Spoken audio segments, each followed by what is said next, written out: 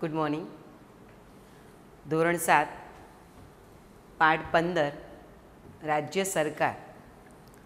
જેમાં ભાગ બે જોઈશું આપણે. પણ એ પહેલાં ભાગ એક પર થોડી નજર નાખી લઈએ કે ભાગ એકમાં આપણે જોયું હતું કે આપણો ભારત દેશ ખૂબ જ વિશાળ અને મોટો દેશ છે. આટલા મોટા દેશનું શાસન એક સ્થળેથી કરવું ખૂબ જ મુશ્કેલ છે.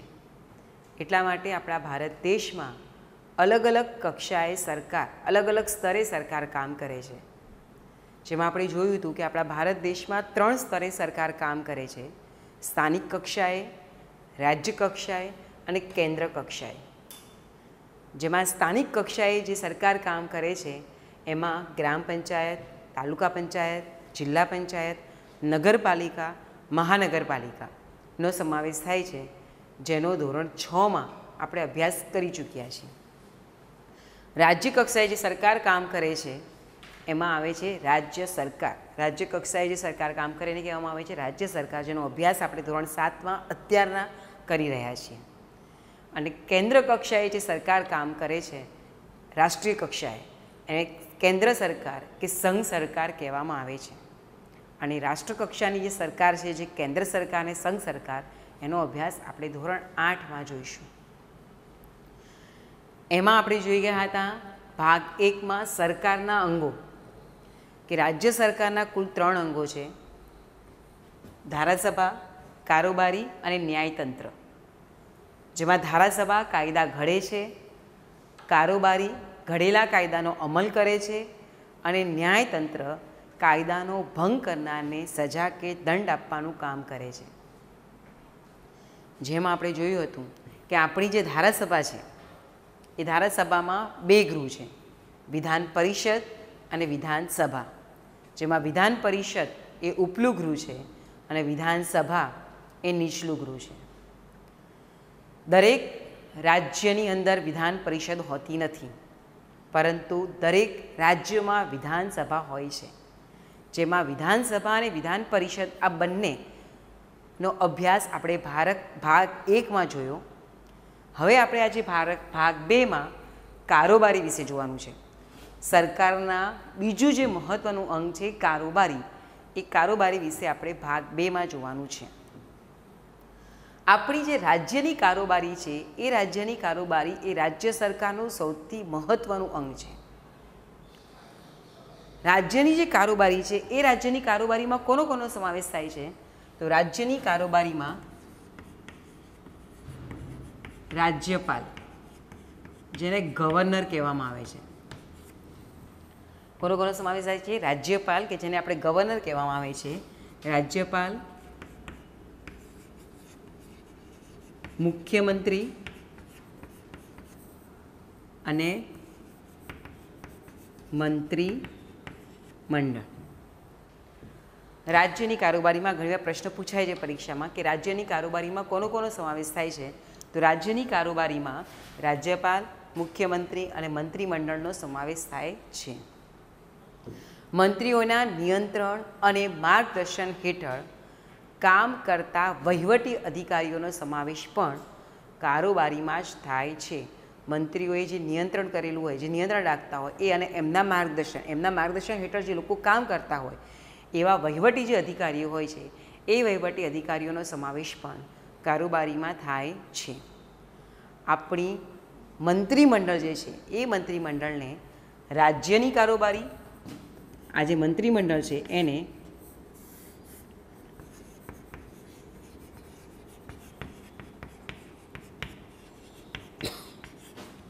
રાજ્યની કારોબારી અને વહીવટી કારોબારી પણ કહેવામાં આવે છે.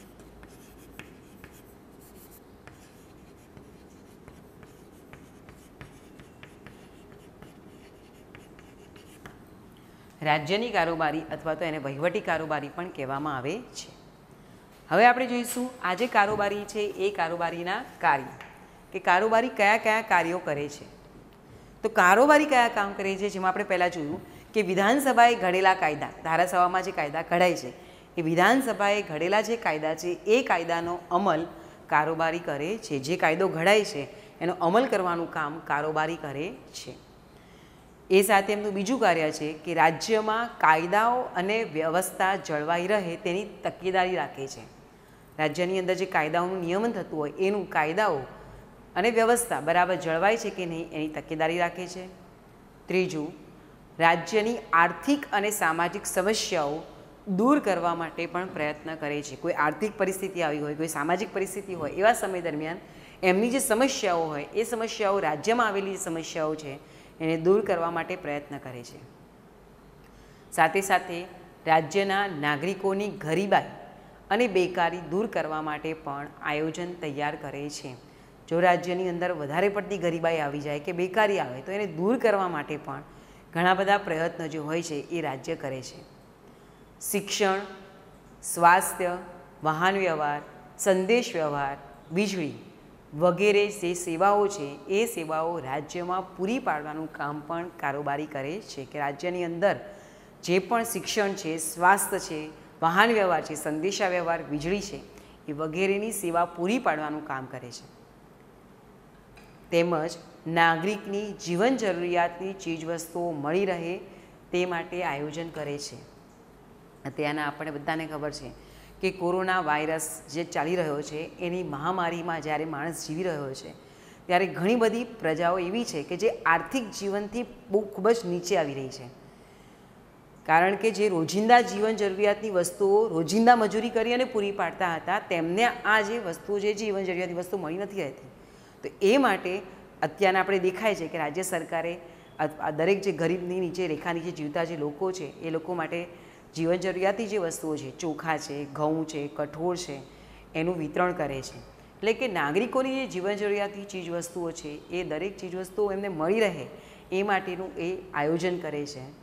સમગ્ર રાજ્યનો વહીવટ સરળતાથી ચાલે, એની કાળજી રાખે છે અને રાજ્ય સરકાર પ્રજા કલ્યાણના કાર્યો પણ કરે છે. પ્રજા કલ્યાણના કાર્યો કરવા એટલે કે પ્રજાને કલ્યાણ માટેના કાર્યો કરે છે. સરકાર જે હોય છે, એ કેટલાક બાગ બગીચા બનાવવા, ક્રીડાંગણ બનાવવા, એવા વગેરે પ્રજા કલ્યાણના જે કાર્યો હોય છે, એ કાર્યો કરે છે. આ આપણે જોયા કારોબારીના કાર્યો. ફરીથી એક વખત કહું છું કે કારોબારીના કયા કયા કાર્યો છે? તો વિધાનસભાએ ઘડેલા કાયદાનો અમલ કરે છે. બે, રાજ્યમાં કાયદો અને વ્યવસ્થા જળવાય તેની તકેદારી રાખે છે.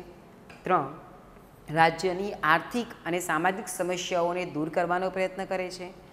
ચાર રાજ્યની ઘર, નાગરિકોની ગરીબી અને બેકારી દૂર કરવા માટે આયોજન તૈયાર કરે છે. પાંચ, શિક્ષણ, સ્વાસ્થ્ય, વાહન વ્યવહાર, સંદેશા વ્યવહાર, વીજળી વગેરે સેવાઓ જે હોય છે એ પૂરી પાડે છે. છ, નાગરિકોની જીવન જરૂરિયાતની જે ચીજવસ્તુઓ છે એ ચીજવસ્તુઓ મળી રહે એનું આયોજન કરે છે. સાત, સમગ્ર રાજ્યનો વહીવટ સરળતાથી ચાલે તેની કાળજી રાખે છે. અને આઠ રાજ્ય સરકાર, પ્રજા સરકાર, પ્રજા કલ્યાણના કાર્યો પણ કરે છે. ત્યારબાદ આપણે કારોબારી જોયું. હવે કારોબારી પછી આપણે જોઈશું રાજ્યપાલ.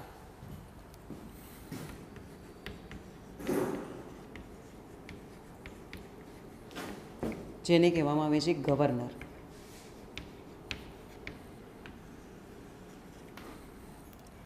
રાજ્યપાલ, આપણે જોયું કે જે રાજ્યપાલ જે છે એ રાજ્યપાલનો સમાવેશ કારોબારીમાં થાય છે.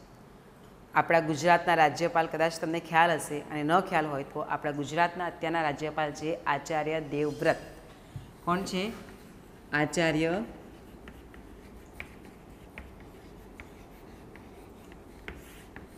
દેવવ્રત. એ ગુજરાતના રાજ્યપાલ છે. ભારતના દરેક રાજ્યમાં રાજ્યપાલ હોય છે. તેઓ રાજ્યના બંધારણીય વડા કહેવામાં આવે છે. દરેક રાજ્યમાં રાજ્યપાલ હોય અને એ રાજ્યનો જે બંધારણીય વડા જે કહેવામાં આવે, એ બંધારણીય વડા કહેવામાં આવે છે. તેઓ રાજ્યની કારોબારીના વડા પણ કહેવામાં આવે છે. આજે કારોબારી જે છે, જેમાં મુખ્યમંત્રી, મંત્રીમંડળ, આ બધાનો જે સમાવેશ થાય છે, એના જે વડા હોય છે, એ વડાને પણ, વડાનો પણ કારોબાર રાજ્યપાલમાં સમાવેશ થાય છે. આ રાજ્યપાલની નિમણૂક કોણ કરે છે? તો આ રાજ્યપાલની નિમણૂક દેશના રાષ્ટ્રપતિ વડાપ્રધાનની સલાહ મુજબ પાંચ વર્ષ માટે કરે છે. બરાબર? ધ્યાનથી સાંભળજો કે રાજ્યપાલની નિમણૂક કોણ કરે છે? તો રાજ્યપાલની નિમણૂક દેશના રાષ્ટ્રપતિ વડાપ્રધાનની સલાહ લઈ અને રાજ્યપાલની નિમણૂક, દરેક રાજ્યના રાજ્યપાલની નિમણૂક પાંચ વર્ષ માટે તે કરે છે. રાજ્યનો બધો જ વહીવટ રાજ્યપાલના નામથી ચાલે છે અને રાજ્યપાલ બનવા માટે એને પાંત્રીસ વર્ષ કે તેથી વધુ વયનો અને તેમજ ભારતનો નાગરિક જે ધરાવતો હોય, એ જ વ્યક્તિ રાજ્યપાલના હોદ્દા માટે લાયક ગણાય છે. કે જેની ઉંમર પાંત્રીસ વર્ષ કે તેનાથી વધુ હોય અને ભારતનો નાગરિક હોવો જોઈએ, એ જ વ્યક્તિ રાજ્યપાલના હોદ્દા માટે લાયક ગણાય છે. હવે જોઈશું આપણે રાજ્યપાલના કાર્યો. કે રાજ્યપાલ કયા કયા કાર્યો કરે છે. આપણે જોયું કે રાજ્ય વિધાનસભાની બહુમતી ધરાવતા પક્ષના નેતાની મુખ્યમંત્રી તરીકે નિમણૂક કરે છે. રાજ્યપાલ શું કામ કરે છે? તો રાજ્યની જે વિધાનસભા હોય છે, આપણે વિધાનસભાની અંદર બે પક્ષ વચ્ચે જે ચૂંટણી કરવામાં આવતી હોય છે, બે ત્રણ પક્ષ વચ્ચે, એમાં બહુમતી ધરાવતો જે પક્ષ હોય, એ પક્ષના નેતાની મુખ્યમંત્રી તરીકેની નિમણૂક કરે છે. મુખ્યમંત્રી તરીકેની નિમણૂક કર્યા પછી એમાં આપણે પહેલું જોઈશું કે મુખ્યમંત્રી તરીકેની નિમણૂક કરે.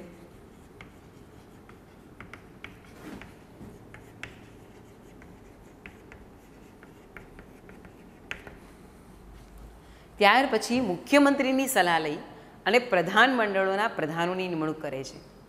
એટલે કે મંત્રીમંડળ. મુખ્યમંત્રી જે હોય છે, એની હવે સલાહ લે છે અને એમની સલાહ લઈને પ્રધાનમંડળના પ્રધાનોની નિમણૂક કરે છે. પ્રધાનમંડળ એટલે કે મંત્રીમંડળ, એટલે કે એમાં આપણે જોઈએ કે જેને નાણાકીય ખાતું આપવામાં આવે, કોઈને આરોગ્ય ખાતું આપવામાં આવે, કોઈને શિક્ષણ ખાતું આપવામાં આવે, એમ અલગ અલગ જેને ખાતા આપવામાં આવ્યા હોય, એમના જે પ્રધાનો હોય, એમની નિમણૂક કરે છે. વિધાનસભાની બેઠકો બોલાવે છે અને જરૂર પડે ત્યારે વિધાનસભાને વિખેરી નાખવાની સત્તા પણ તે ધરાવે છે. જ્યારે જ્યારે વિધાનસભાની બેઠક બોલાવવાની હોય ત્યારે એ વિધાનસભાની બેઠક બોલાવવાનું કામ કોણ કરે? રાજ્યપાલ. અને એમને એવું લાગે તો એ વિખેરી નાખવાની સત્તા પણ એ રાજ્યપાલ ધરાવે છે. રાજ્યપાલ જરૂર પડે વટ હુકમ બહાર પાડે છે. તેમજ રાજ્યના એડવોકેટ જનરલ રાજ્યની અંદર જે એડવોકેટ એટલે કે વકીલ હોય, એ વકીલ તેમજ રાજ્યના જાહેર સેવા આયોગના અધ્યક્ષ વગેરેની નિમણૂક પણ રાજ્યપાલ કરે છે. જો ધ્યાન રાખજો કે રાજ્યપાલ કોની કોની નિમણૂક કરે? એક તો મુખ્યમંત્રીની કરે, મુખ્યમંત્રીની સલાહ લઈ અને બીજા કોની કરે છે? મંત્રીમંડળની નિમણૂક કરે છે. મંત્રીમંડળ ગણો કે પ્રધાનમંડળ ગણો, એમની નિમણૂક કરે છે. તેમજ તે એડવોકેટ જનરલ અને રાજ્યના જાહેર સેવા આયોગના અધ્યક્ષ વગેરેની પણ નિમણૂક કરે છે. એની સાથે બીજા કોની નિમણૂક કરે છે? રાજ્યના એડવોકેટ જનરલ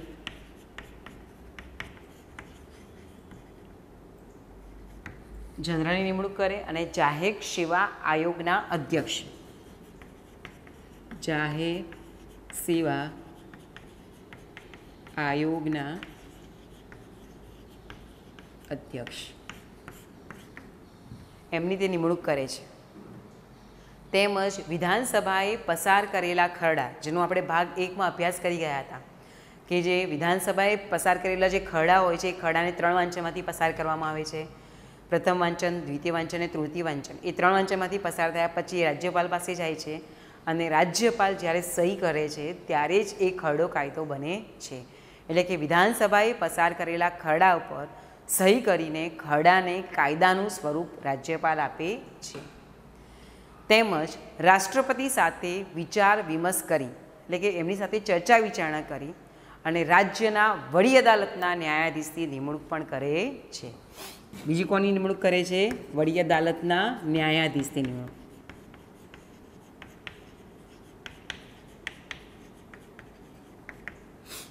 વડી અદાલતના ન્યાયાધીશની નિમણૂક પણ કરે છે. પણ એ કોની સલાહ સાથે? કે રાષ્ટ્રપતિ સાથે ચર્ચા વિચારણા કરીને. તેમજ તેઓ તટસ્થ અને નિષ્પક્ષ રહી રાજ્યના વહીવટનું ધ્યાન રાખે છે. રાજ્યપાલ જે છે એ રાજ્યના બંધારણીય વડા છે. એટલે એ જ રાજ્યપાલ બંધારણીય વડા હોવાને કારણે એમને ઘણી બધી નિમણૂક કરવાની હોય છે. જેમાં આપણે જોઈ ગયા. ફરી આપણે રિપીટ કરીશું રાજ્યપાલ કયા કયા કાર્યો કરે છે? તો પહેલું, રાજ્યની વિધાનસભામાં બહુમતી ધરાવતા પક્ષના નેતાની મુખ્યમંત્રી તરીકે નિમણૂક કરે છે. બીજું, મુખ્યમંત્રીની સલાહ પ્રમાણે પ્રધાનમંડળના પ્રધાનોની રચના કરે છે. ત્રીજું, વિધાનસભાની બેઠકો બોલાવે છે. તેમજ જરૂર પડે વિધાનસભાને વિખેરી નાખવાની સત્તા ધરાવે છે. અને જ્યારે જરૂર પડે ત્યારે તેઓ વટહુકમ બહાર પાડે છે. ચોથું, રાજ્યના એડવોકેટ જનરલ અને રાજ્યના જાહેર સેવા આયોગના અધ્યક્ષ વગેરેની નિમણૂક કરે છે. પાંચ, વિધાનસભાએ પસાર કરેલા ખરડા ઉપર સહી કરીને ખરડાને કાયદાનું સ્વરૂપ આપે છે. છ, રાષ્ટ્રપતિ સાથે વિચાર કરી રાજ્યની વડી અદાલતના ન્યાયાધીશની નિમણૂક કરે છે અને સાત, તેઓ તટસ્થ અને નિષ્પક્ષ રહી અને રાજ્યના વહીવટનું ધ્યાન રાખે છે. ક્રમ પ્રમાણે તમને પરીક્ષામાં પૂછાય કે રાજ્યપાલ કયા કાર્યો કરે છે, કારોબારી કયા કાર્યો કરે છે. તો આમ ક્રમ પ્રમાણે નંબર આપી અને કાર્યોને સુવ્યવસ્થિત રીતે લખવા જેથી તમને સંપૂર્ણ માર્ક્સ મળી શકે. હવે આપણે જોઈશું મુખ્યમંત્રી.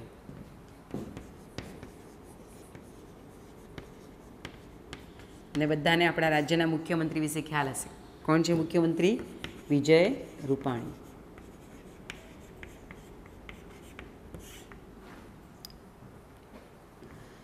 હવે મુખ્યમંત્રી જોઈશું તો રાજ્યના વિધાનસભામાં બહુમતી ધરાવતા પક્ષના નેતાની નિમણૂક મુખ્યમંત્રી તરીકે કરવામાં આવે છે. જે રાજ્યપાલ કરે છે, આપણે જોઈ ગયા.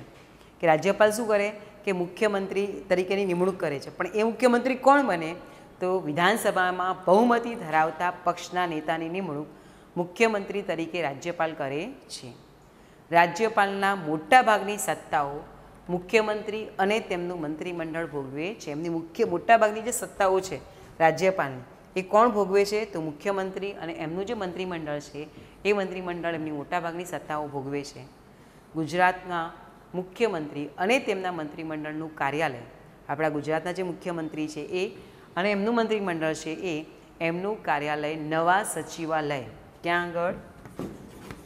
નવા સચિવાલય, સ્વર્ણ્ય. નવા જે સચિવાલય જે છે, ત્યાં આગળ સ્વર્ણ્ય ભવન.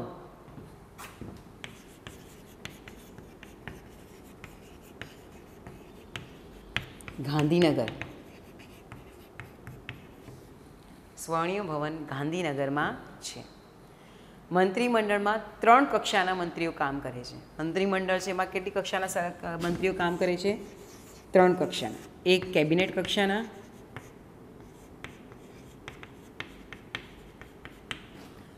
કેબિનેટ કક્ષાના મંત્રીઓ કામ કરે છે, બીજું રાજ્ય કક્ષાના.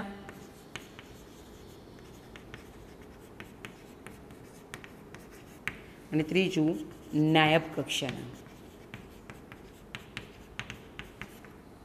નાયબ કક્ષાના જે મંત્રી છે, એ મંત્રીઓ ત્યાં આગળ કામ કરે છે. ત્રણ કક્ષાના મંત્રીઓ હોય છે. હવે આપણે જોઈશું, મુખ્યમંત્રી જે છે, એ મુખ્યમંત્રી કયા કયા કાર્યો કરે છે? તો મુખ્યમંત્રી શું કરે છે? એમની નીચે આવે છે મંત્રીમંડળ. તો મંત્રીમંડળની બેઠકો બોલાવે છે. તેમજ દરેક મંત્રીના કાર્યો પર દેખરેખ રાખે છે. મંત્રીમંડળની બેઠક બોલાવે અને દરેક મંત્રી જે અલગ અલગ જે મંત્રીઓનું કાર્ય સોંપવામાં આવ્યું છે. મેં તમને કીધું એ પ્રમાણે કે કોઈને આરોગ્ય ખાતું, શિક્ષણ ખાતું, સ્વાસ્થ્ય ખાતું એ જે જે રેલવે ખાતું છે, એમના મંત્રીઓ બરાબર કાર્યો કરે છે કે નહીં, એ દેખરેખ રાખવાનું કામ કરે છે. જરૂર પડે તો એ મંત્રીઓને માર્ગદર્શન પણ પૂરું પાડે છે. એમને જરૂર જણાય એમને કોઈ જગ્યા ઉપર, તો એમને માર્ગદર્શન પણ પૂરું પાડે છે. તેમજ મંત્રીમંડળે લીધેલા જે નિર્ણયો છે, એ નિર્ણયોની જાણકારી રાજ્યપાલને આપે છે.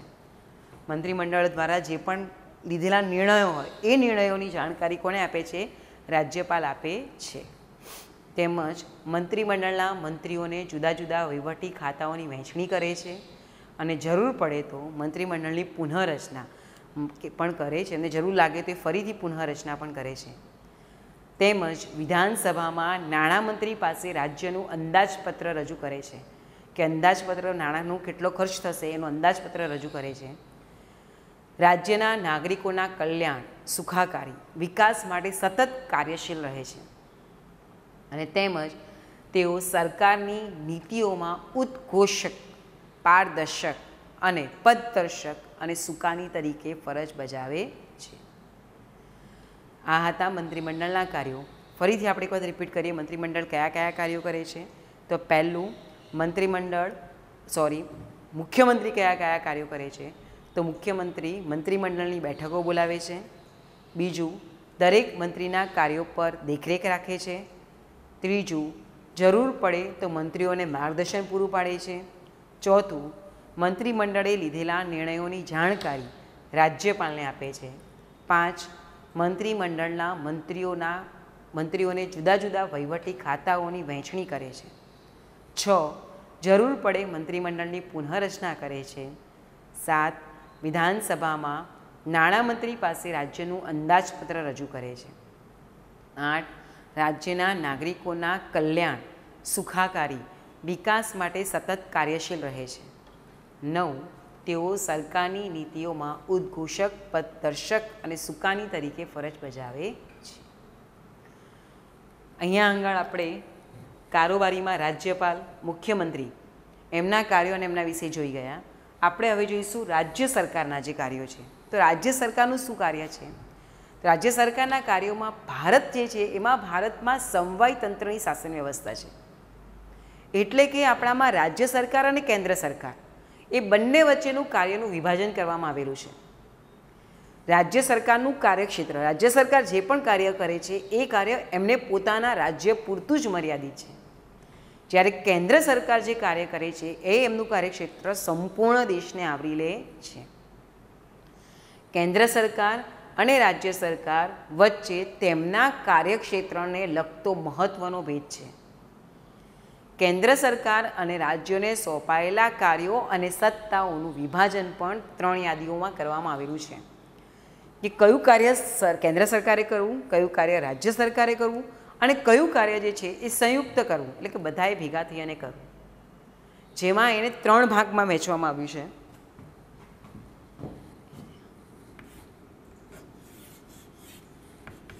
એક સંઘ યાદી, બે રાજ્ય યાદી અને ત્રણ સંયુક્ત યાદી.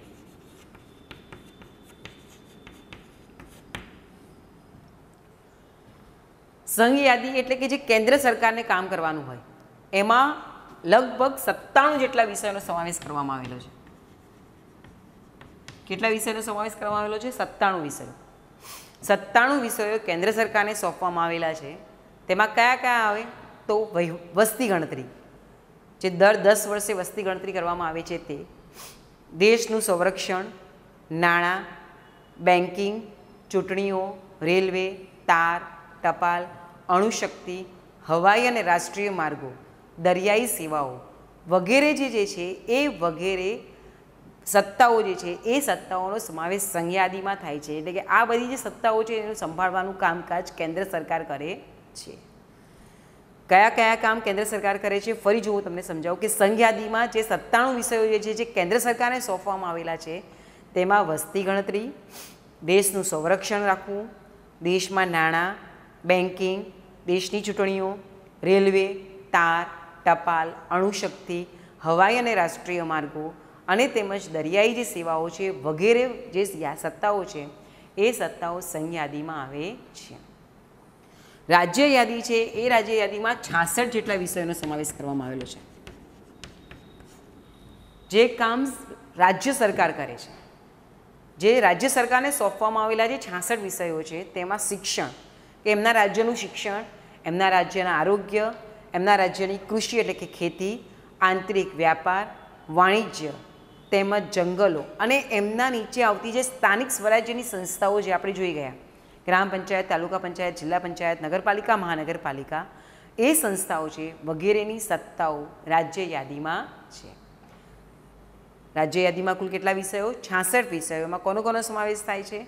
શિક્ષણ, આરોગ્ય, કૃષિ એટલે કે ખેતી, આંતરિક વ્યાપાર વાણિજ્ય જંગલો, સ્થાનિક સ્વરાજ્યની સંસ્થાઓ એટલે કે ગ્રામ પંચાયત, તાલુકા પંચાયત, જિલ્લા પંચાયત, નગરપાલિકા, મહાનગરપાલિકા વગેરે સત્તાઓ રાજ્ય યાદીમાં છે. સંયુક્ત યાદીમાં લગભગ સુડતાળીસ જેટલા વિષયોનો સમાવેશ કરવામાં આવેલો છે. સંયુક્ત યાદીમાં કેટલા વિષયો છે? સુડતાળીસ વિષયો. આ જે વિષયો છે, એ વિષયો રાજ્ય સરકાર અને કેન્દ્ર સરકાર બંને સાથે મળીને કામ કરે છે. બન, કેન્દ્ર સરકાર અને રાજ્ય સરકાર બંને એકસાથે કાયદા ઘડી શકે છે. જેમાં છૂટાછેડા, શિક્ષણ, ઉદ્યોગ, રાજ, રોજગારી, બેકારી સોરી રોજગારી, વીજળી અને એ સાથે સાથે વારસાઈક જે બાબતો હોય એ ફોજદારી દીવાની કેસો. ફોજદારીને દીવાની કેસો વિશે વધારે ડીપમાં આપણે એના પછીના ભાગ ત્રણ જે ન્યાયતંત્ર છે, એમાં આપણે જોઈશું. વગેરે જે કાયદાઓ ઘડવાના હોય છે, વગેરે અંગેની જે કાર્યવાહી છે, એ કાર્યવાહીની સત્તાઓ સંયુક્ત યાદીમાં છે. કે જેમાં કેન્દ્ર સરકાર અને રાજ્ય સરકાર બંને સાથે મળીને કાયદા ઘડી શકે છે. ફરીથી આપણે જોઈએ કે બંને સાથે મળીને કયા કયા કાયદા ઘડી શકે છે? તો છૂટાછેડા, શિક્ષણ, ઉદ્યોગ, રોજગારી, વીજળી અને વારસાઈ બાબતો તેમજ ફોજદારી અને દીવાની કેસો. શોર્ટમાં ખાલી કહી દઉં, ડીપમાં આપણે જોઈશું નેક્સ્ટ ભાગ ત્રણમાં. દીવાનીમાં જમીન અને મિલકત અંગેના જે કેસો હોય તે અને ફોજદારીમાં ખૂન, ચોરી, લૂંટફાટ અંગેના જે કેસો હોય એ એના માટે વગેરે અંગેની જે કાર્યવાહી હોય છે, વગેરે સત્તાઓ, સંયુક્ત યાદીમાં એટલે કે રાજ્ય સરકાર અને કેન્દ્ર સરકાર બંને સાથે મળીને કરે છે. લોકશાહી, જે આપણે જોયું કે આપણો ભારત દેશ લોકશાહી દેશ છે. લોકોના, લોકો માટે, લોકો દ્વારા ચાલતું દેશ શાસન છે. જેમાં રાજ્ય સરકારનું મુખ્ય કાર્ય લોક કલ્યાણ કરવાનું છે.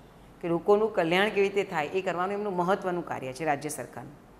તેમજ રાજ્યના લોકોની પાયાની જે જરૂરિયાતો છે, વીજળી, પાકા રસ્તા, પીવાનું શુદ્ધ પાણી, સ્વાસ્થ્યને લગતા મહત્ત્વના કાર્યો જે છે, એ કાર્યો કરવાનું કામ રાજ્ય સરકાર કરે છે.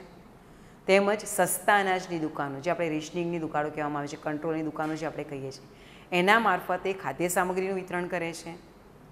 તેમજ પૂર, અતિવૃષ્ટિ, દુષ્કાળ, ધરતીકંપ, વાવાઝોડું વગેરે જ્યારે કુદરતી આપત્તિ આવી જાય છે, એવા સમય દરમિયાન લોકોને સહાય કરવાનું કાર્ય પણ રાજ્ય સરકાર કરે છે. તેમજ ન્યાયની વ્યવસ્થા, વાહન વ્યવહાર, શિક્ષણ સંસ્થાઓ, હોસ્પિટલો વગેરે જે હોય છે, એની સુવિધાઓ પૂરી પાડવાનું કામ કરે છે અને રાજ્યમાં કાયદો, શાંતિ, વ્યવસ્થા જળવાઈ રહે તે માટે અગત્યની ભૂમિકા રાજ્ય સરકાર ભજવે છે. અહીંયા આગળ આપણે રાજ્ય સરકારમાં, રાજ્ય સરકારનું જે બીજું મહત્ત્વનું અંગ છે કારોબારી, એ કારોબારીમાં આપણે રાજ્યપાલ, મુખ્યમંત્રી અને મંત્રીમંડળ, એના વિશે આપણે અભ્યાસ કર્યો. હવે ભાગ ત્રણમાં આપણે સરકારનું જે ત્રીજું અંગ છે ન્યાયતંત્ર, એના વિશે આપણે અભ્યાસ કરીશું.